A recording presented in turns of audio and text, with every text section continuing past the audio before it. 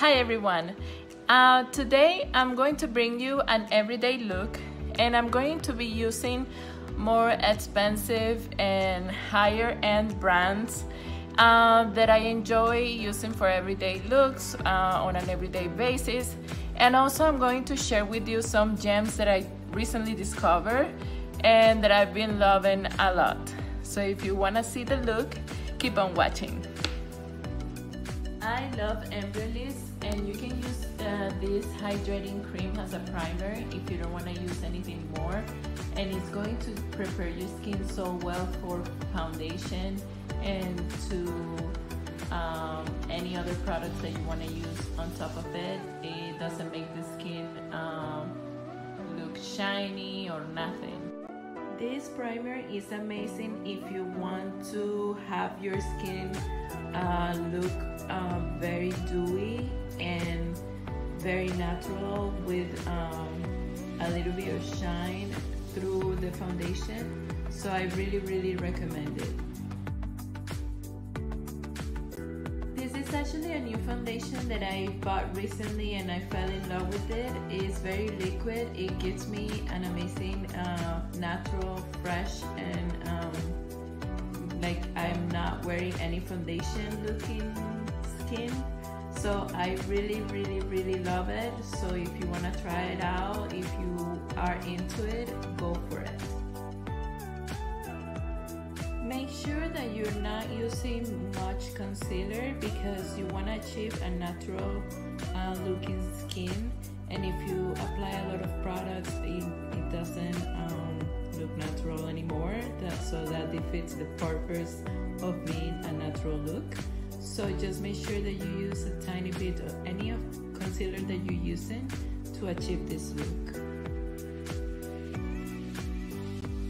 I have natural brows, so basically what I do is just define them with the pencil and make sure that I don't have any gaps or anything like that showing up, any skin showing up.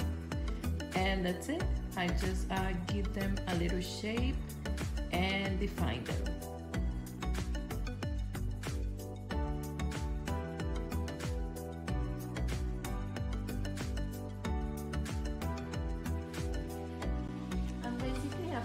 The shade Titania all over the lid and I'm using it as a base for the next uh, shades that I'm going to be applying.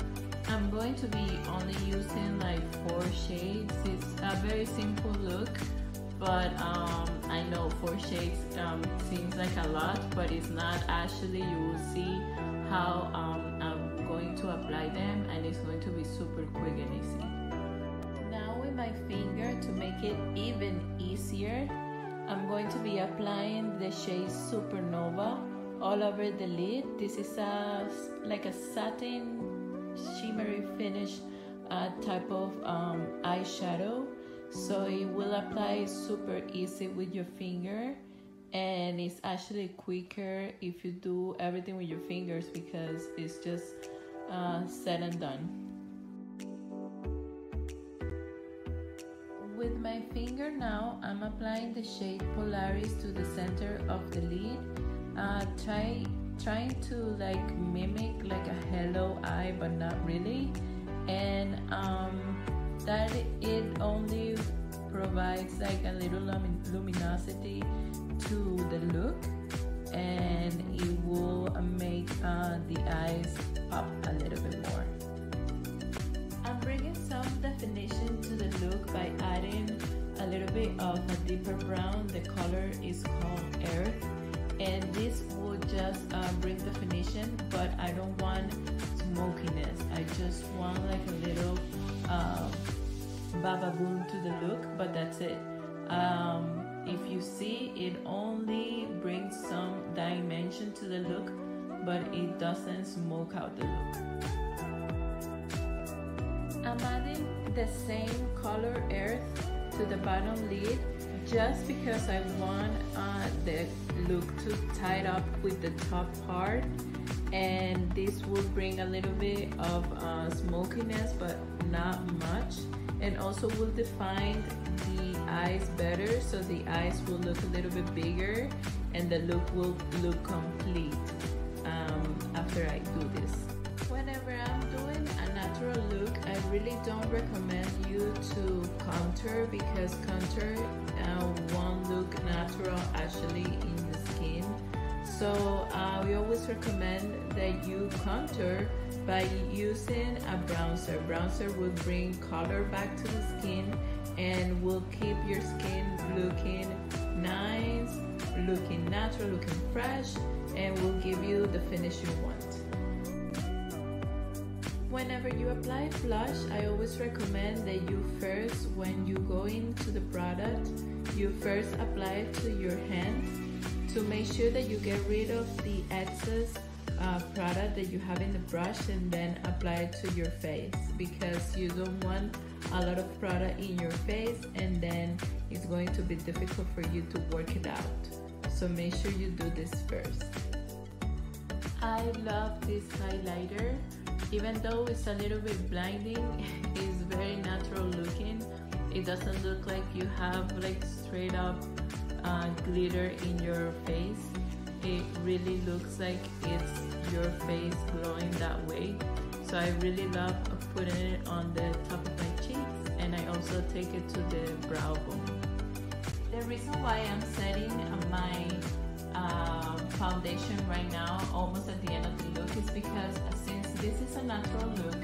I just want my skin to look as natural as possible.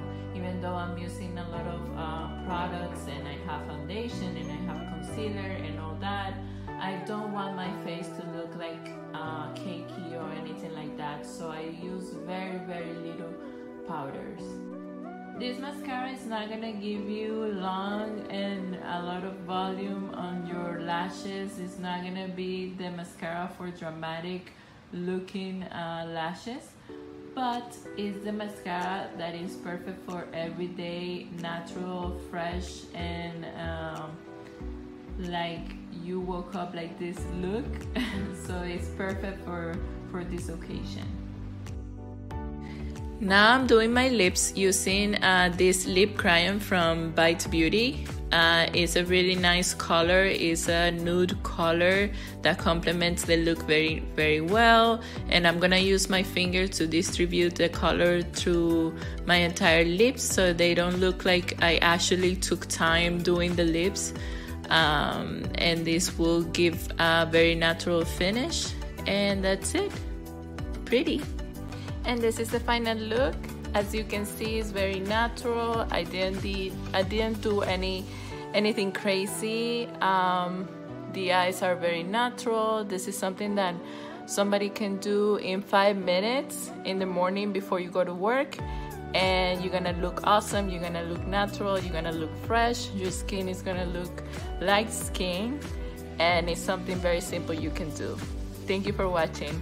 Bye bye